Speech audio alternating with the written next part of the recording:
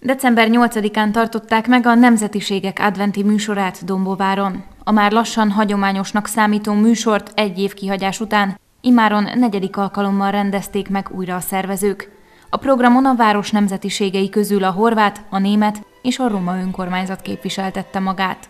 A német önkormányzattal együtt tulajdonképpen hát mondhatjuk, hogy legalább tíz éve elhatároztuk, hogy közösen a város önkormányzataival, így a roma önkormányzatával együtt is, és korábban volt az örmény is, hogy a kisebbséghez naphoz kapcsolódóan közösen fogjuk megszervezni, megünnepelni ezt a napot, összekötve az az aktualitással, hogy advent van. A nemzetiségek évről évre igyekeznek minél sokszínűbbé tenni közös rendezvényeiket.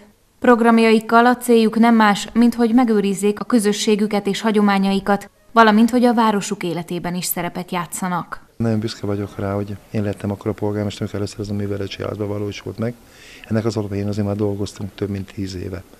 Mind a három nemzetiségi önkormányzattal azt gondolom, hogy az önkormányzat kapcsolat kiegyensúlyozott, és ami számomra még nagyon nagy öröm, hogy egymás közt is kiegyensúlyozott a kapcsolatok, és nyugodtan kijelentettem, hogy Dombaváron négy önkormányzat együtt dolgozik a dombavári lakosságért.